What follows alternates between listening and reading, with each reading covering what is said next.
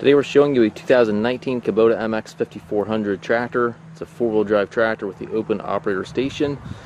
Tractor has just over 300 hours on it. It's a very clean, very nice tractor. Uh, does come with the balance of the factory warranty, uh, which I believe runs into 2026. It does also come with the LA 1065 quick attach front loader.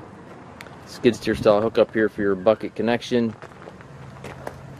Bucket's in nice shape paint of the tractor and loader overall are in uh, real nice shape.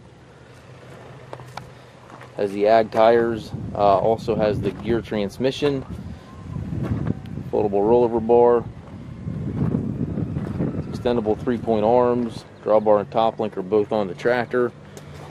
Rear hydraulic outlet back here, and has stabilizer bars on both uh, three-point arms.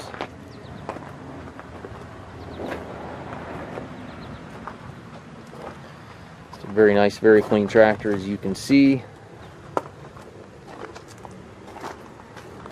And again, it does have the gear transmission. You have four gears here on the short lever, four reverse on the lever here in the middle, and then high-low range back here. So you have eight forward speeds, eight reverse speeds. Nice floor mat on the floor there.